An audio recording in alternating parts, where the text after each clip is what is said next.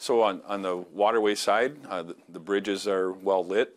There are uh, kingpin pile structures in that that are protecting the approaches of the, the bridges um, to um, reduce the chance of any type of a, a collision hitting the physical structure of the, of the bridge. That that Yeah. wooden structure set out in the water would take the impact first should something unfortunately happen.